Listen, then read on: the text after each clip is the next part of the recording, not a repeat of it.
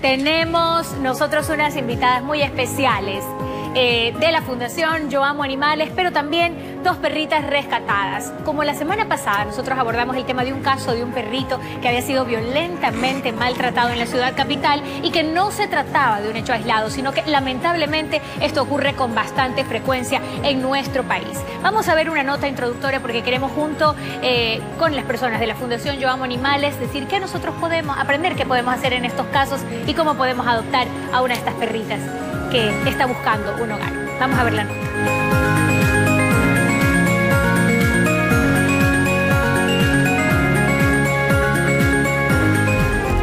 Diariamente nos vemos sacudidos por hechos dramáticos que nos preocupan y conmueven. El maltrato animal es, a la vez, un factor que predispone a la violencia. La violencia es un acto intencional que puede ser único o recurrente y cíclico, dirigido a dominar, controlar, agredir o lastimar a otros. Este es el caso de una perrita de 5 años que fue agredida de 6 machetazos. El hecho se dio en el sector de Camal, el sur de Quito.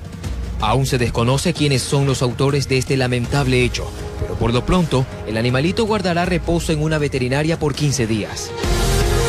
¿Qué hacer si somos testigos de estos sucesos? ¿Cómo actuar ante personas que realizan estos actos repudiables? Estas preguntas serán contestadas ahora.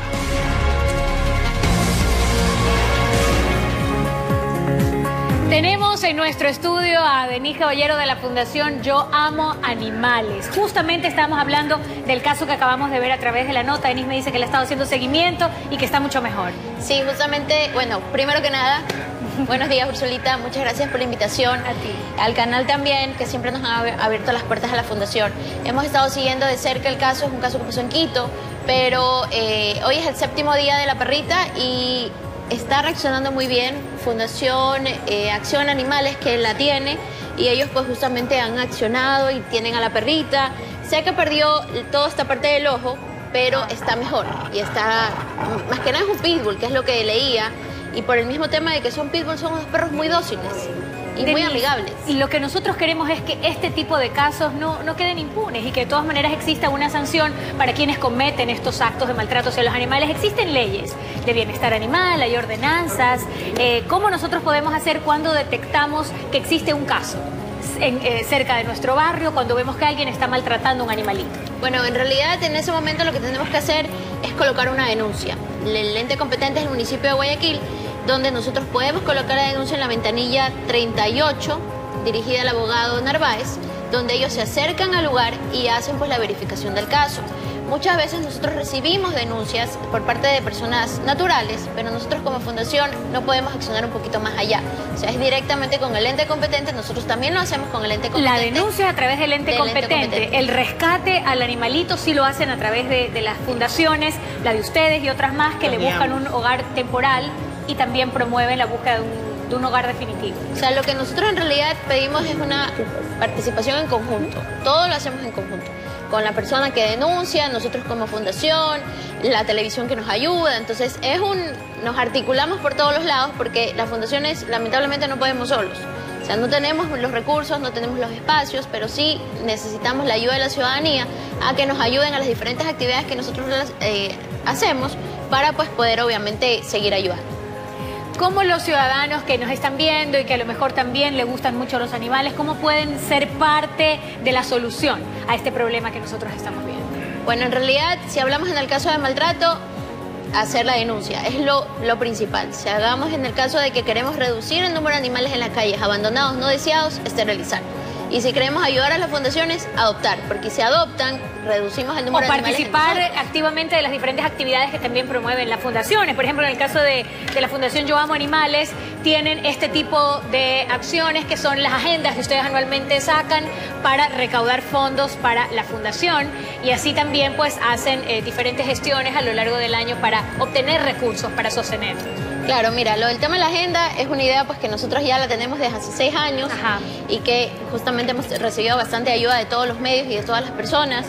Y hoy en este momento lo que estamos haciendo es vendiendo la agenda por medio del bazar. Nosotros tenemos un bazar en este momento online virtual. También tenemos campañas de esterilización, también tenemos entrenamientos caninos y todo esto nosotros lo hacemos de diferentes pilares que tiene la fundación para poder ayudar y concientizar por el buen trato de los animales, que es lo que en realidad todos buscamos.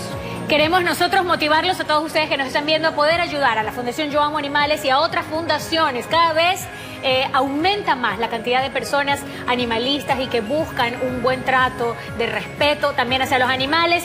La perrita que está contigo es tuya, la adoptaste hace algún tiempo, pero acá quisiera que tú me hables de ella porque está en adopción. Choco, cuéntanos de Choco. Sí, buscando un hogar para Choco, cuénteme. Buscando un hogar para Choco.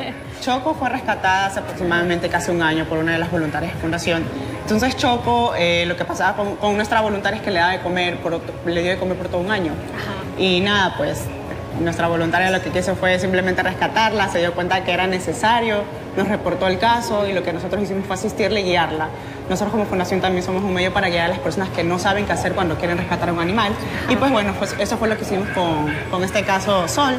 Sol rescató a, a Choco y nada, fue y esterilizada. un hogar. Sí, ya está esterilizada. ¿Qué características debe tener un hogar que adopta a un perrito? Porque ustedes también le hacen seguimiento Sí, a bastante. A ver, primero que nada, estar comprometidos. Estar comprometidos y saber de que cuando están adoptando no va a ser solo un día, sino que va a ser por el resto de sus vidas hasta que el rescatado, el animal que estén adoptando vaya a estar con ustedes. Lo segundo es que sean responsables, muy responsables. Tienen que saber que un perro se enferma igual que, que una persona. Es como un hijo. Es un hijo más, es un hijo más y saber que a la final eh, esa persona está comprometida con eso significa que hay amor, hay respeto, hay consideración. Eh, y nada, eso es lo que vemos y muchas cosas más que también pedimos como Se le como hace fundación. seguimiento. Sí. Muchísimas gracias. Ahí, bueno, en la cuenta de la Fundación Yo Amo Animales, las cuentas en redes sociales. Y el mensaje final es que usted, eh, pues si sabe de alguno de estos casos, pueda poner la denuncia con la entidad competente, que es el municipio de Guayaquil, pero que también pueda ayudar en las diferentes gestiones que hacen las fundaciones de rescate a los animalitos. Gracias, chicas, por habernos acompañado. Nos pueden seguir en nuestras redes mañana. sociales. Nos pueden seguir en las redes sociales. Yo Amo Animales GC, Instagram, Facebook, Twitter. Y para Yo más Amo Animales GC. Y para más información a yoamoanimales.yahoo.com. Perfecto. Muchísimas gracias, chicas. Ya saben, a cuidar y a respetar a los animalitos.